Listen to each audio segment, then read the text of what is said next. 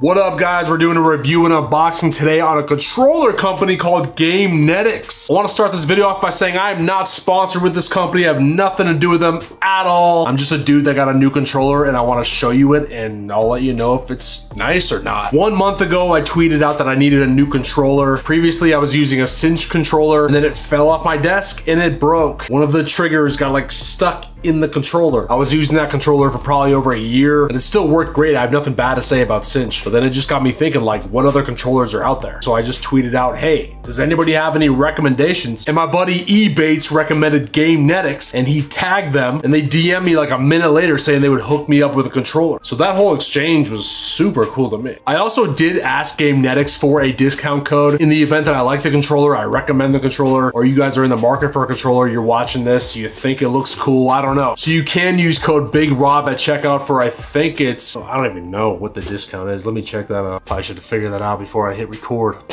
So it looks like my discount is 10%. So yeah, code Big Rob gets you 10% off at checkout. These guys also did let me fully customize this controller. They could have sent me one that was already pre-built and I still would have been really stoked. I always feel fortunate when people send me stuff because, well, they don't have to. but they said I could fully customize one and they'll ship it out ASAP. And I think the turnaround time was, I think it was like less than two weeks, which is really fast for custom controllers. Anyways, let's open this bad boy up and see what it's like to get a controller from GameNetics.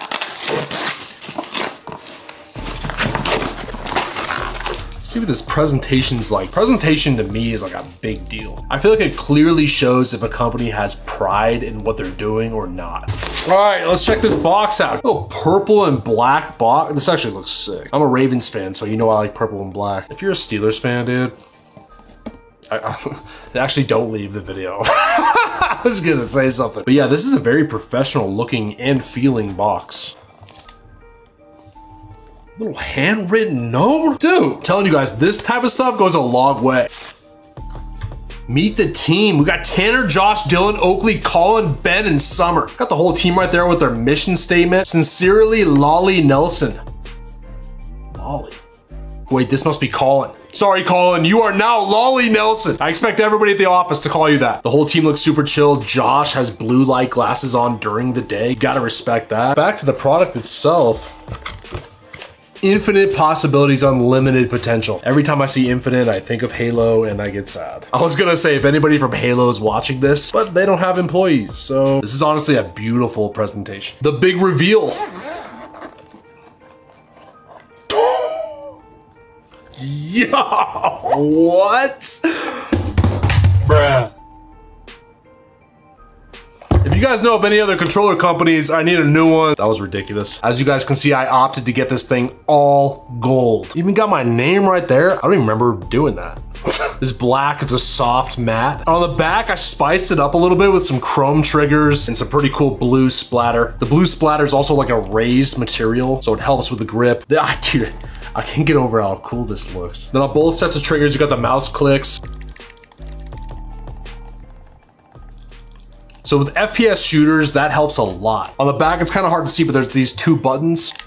But these buttons on the back work as the X or the O button, so you never have to take your thumb off the controller. If you've never played with a controller like this, or one with paddles, having these features back here makes a huge difference with like most games. So I'm about to show you guys some gameplay and actually use this thing, and then I'll give a final rating of what I really think. But visually, this is by far the sickest controller I've had yet. And I think I've owned like probably four or five controllers. One thing I definitely want to talk about in regards to GameNetics is that their website is better than any other controller website I've been on. Everything looks good, everything feels smooth. The amount of options there are when it comes to customizing their controller is like three times as much as anybody else too. It took me a long time to do this because there were so many other cool options. And just a reminder, I am not sponsored by this company. This is literally just me as a dude using their website. But we all know what it's like going on a website where things don't work or there's glitches or things just move slow or whatever. And you just get so turned off. You just, you don't, you don't even want to, you don't want to buy anything. Their website is the opposite of that. The whole process was super easy. And as somebody who's owned multiple businesses and even made a living for years building websites, I appreciate a nice website more than anybody. Now let's play some games and see what's up. Dude, I have no idea what guns are even good.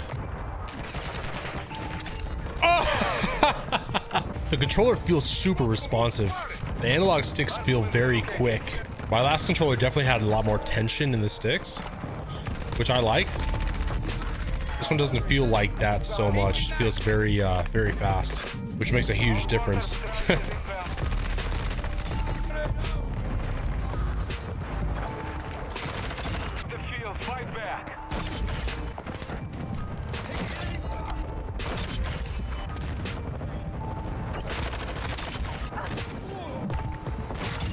Overall, the, it feels pretty good though. I like this thing. There's gonna be a guy right here. Come on out, baby. Come on out, baby. What's up, bitch? So predictable. Oh.